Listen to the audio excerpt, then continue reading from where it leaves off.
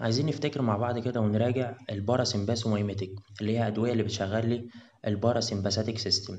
عايزكم تعرفوا برضو في الأول إن الدواء الممثل للمجموعة دي اسمه ال acetylcholine وعايزكم تعرفوا برضو قبل ما ندخل في التفاصيل إن الدواء ده بيتكسر بإنزيم اسمه ال cholinesterase. وعندي نوعين من ال cholinesterase زي ما قدامنا كده true cholinesterase و pseudo cholinesterase حلو حلو. طيب آه مش عايز ندخل في تفاصيل المقارنة بينهم دلوقتي اللي يهمني إنك تعرف عندي دواء ممثل ال parasympathomimetic اسمه ال acetylcholine والإنزيم اللي بيكسره اسمه إيه؟ اسمه ال cholinesterase ليه بقول لك الكلام ده؟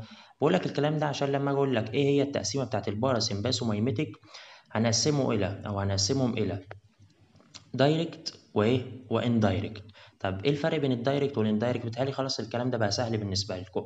direct يعني الدواء اللي باخده بيروح يمسك في ال receptor على طول ويديني الايه ويديني الاكشن طب يعني إيه indirect indirect يعني الدواء بيروح يمنع الإنزيم اللي بيكسر ال acetylcholine يعني الدواء بيروح يمنع لي الإنزيم اللي هو إيه؟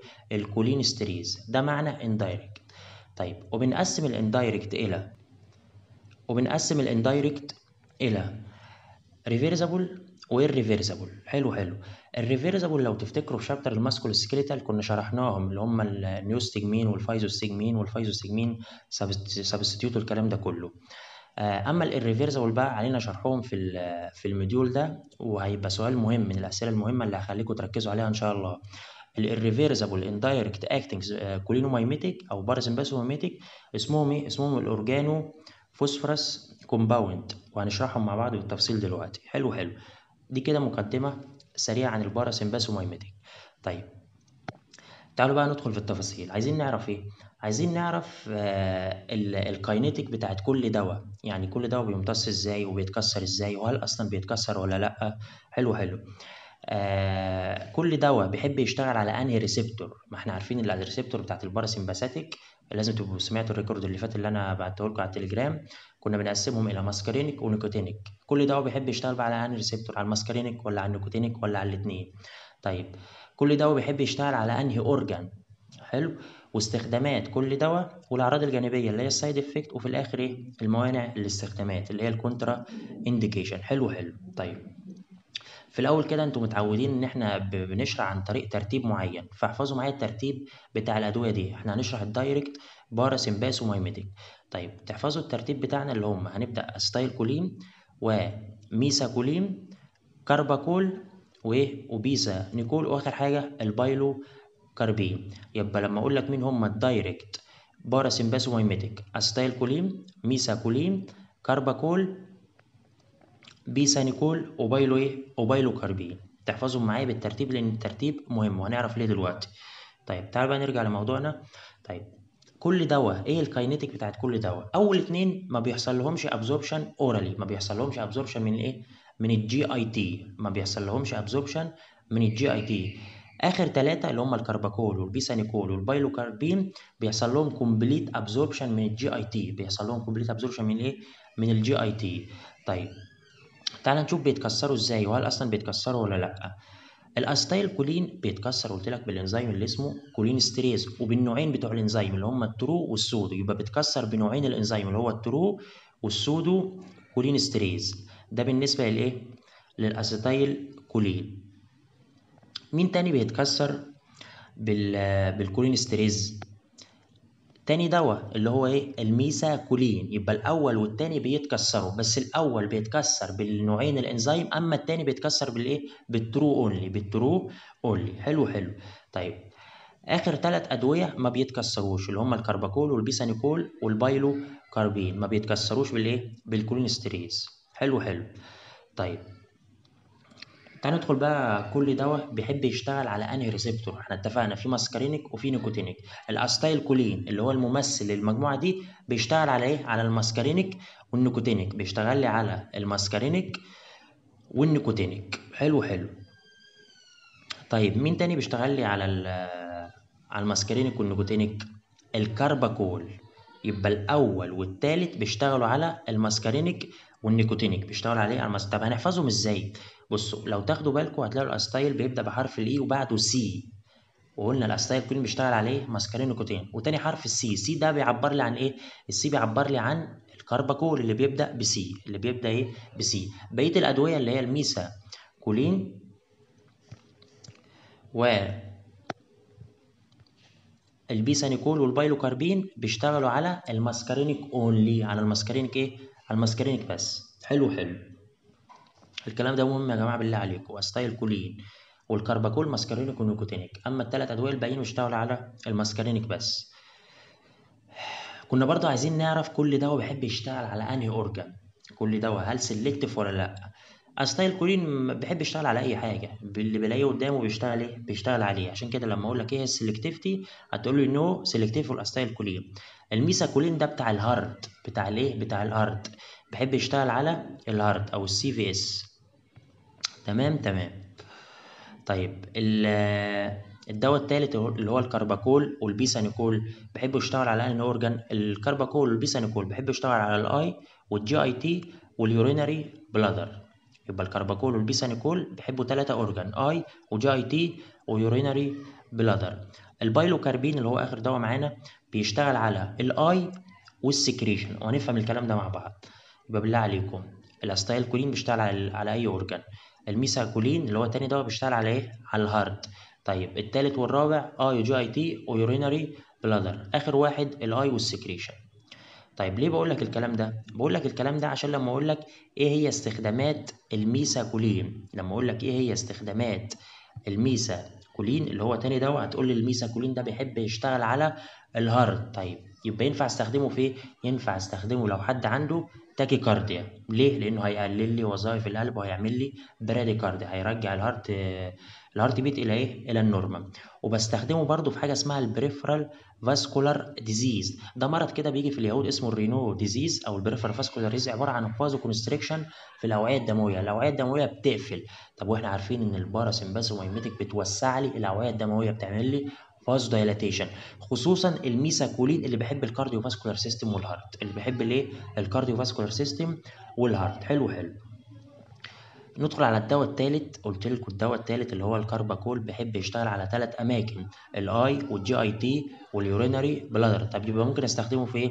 ممكن أستخدمه أول حاجة بخصوص ال eye لو حد عنده جلوكوما اللي هي المية الزرقاء. يعني إيه المية الزرقاء؟ يعني ارتفاع في ضغط العين. طيب بستخدم ال parasympathomimetic أو ال carbachol ليه؟ لأن ال parasympathomimetic بتقلل لي ضغط العين. إزاي؟ عن طريق إنها بتشغل لي ال M 3 receptor اللي بيعمل لي constriction أو. بيعمل لي constriction فهيزود ال outflow أو هيتخلص من أو هيزود الصرف بتاع الايه بتاع ال aqueous humor هيزود الصرف بتاع الايه ال aqueous humor يعني هيتخلص لي من ال aqueous humor عشان كده بستخدمه في الجلوكوما. تاني استخدام لل carbachol بستخدمه في ال paralytic ileus الناس بعد العمليات يا جماعة بعد العمليات الجراحية بيحصل لها relaxation في ال في ال smooth muscle ما بتتحركش ما بيحصلش contraction فبديهم أدوية تساعد لي على إيه على ال contraction زي إيه؟ زي ال carbachol بيعمل لي contraction في ال smooth muscle فبستخدمه في ال paralytic ileus تالت استخدام بستخدم ال carba... ال carbachol لو حد عنده احتباس في البول urine retention ليه بستخدم ال carbachol؟ لأنه هيروح يشغل لي ال M 3 اللي على ال smooth muscle بتاعت ال urinary bladder ويعمل لي ويعمل لي contraction في ال bladder في ال bladder فهيفضي لي ال urine حلو حلو. واللي زيه ال bethanechol. مش أنا قلت لك برضو ال bethanechol بيحب ال eye وال GIT وال urinary bladder يبقى استخداماته نفس استخدامات ال carbachol. حلو حلو.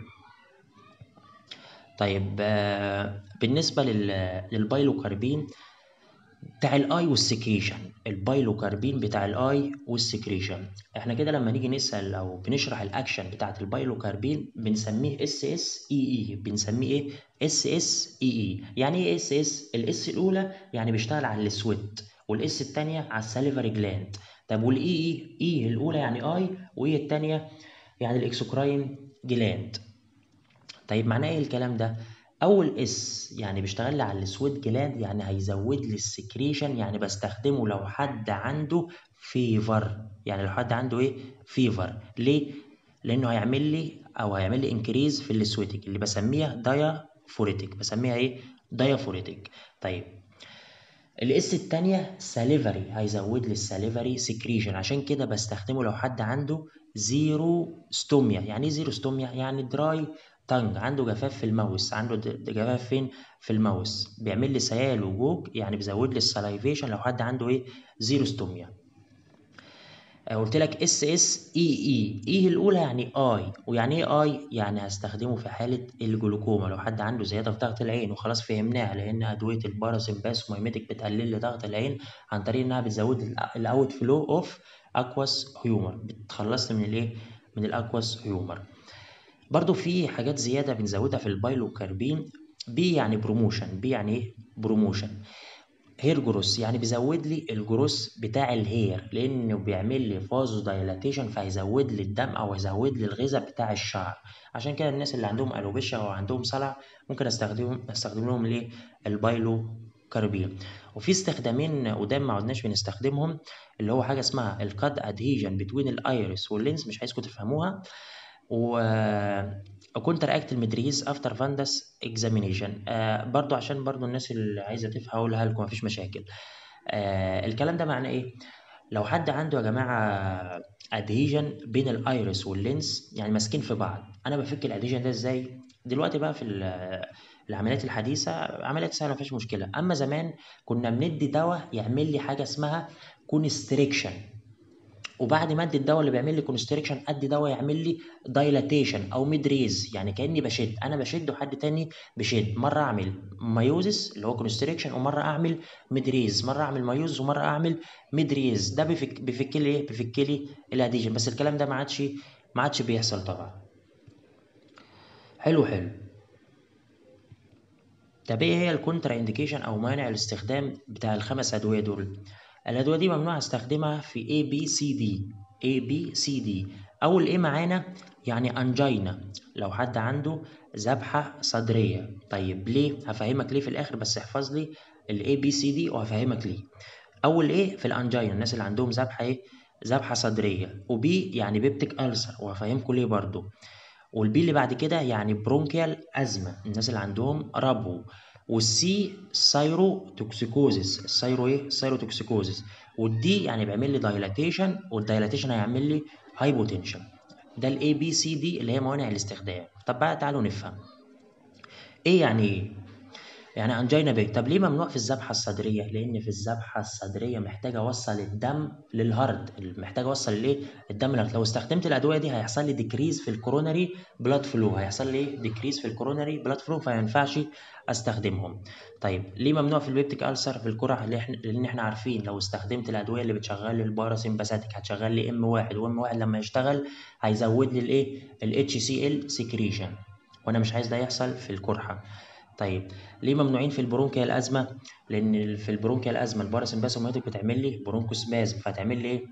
هتسوء لي الحالة. طيب ليه ممنوعين في ال thyrotoxicosis ببساطة لأن مريض ال thyrotoxicosis أو الناس اللي عندهم الغدة بيبقى عندهم عرض اسمه ال atrial fibrillation. الشغل بتاع ال heart بتاعهم بيبقى زيادة ضربات قلبهم تبقى إيه؟ زيادة. طيب ده معناه إن ال parasympathomimetic لو استخدمتها لو استخدمتها هتزود لي ال heart rate؟ آه طبعا. هتعمل لي atrial fibrillation يبقى ممنوع أستخدم الأدوية دي في ال thyrotoxicosis عشان هتعمل لي atrial fibrillation وممنوع طبعا في الناس اللي عندهم hypotension عشان بيعمل لي vasodilatation فيقلل لي الضغط. ال side effect طبعا ال side effect بسهولة جدا بتاعتهم.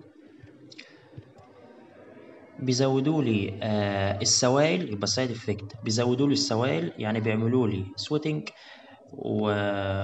وبرضه بيعملوا لي salivation هيزودوا ال salivary gland secretion وهيعملوا آخر سائل بيزودوه هيعملوا لي إيه؟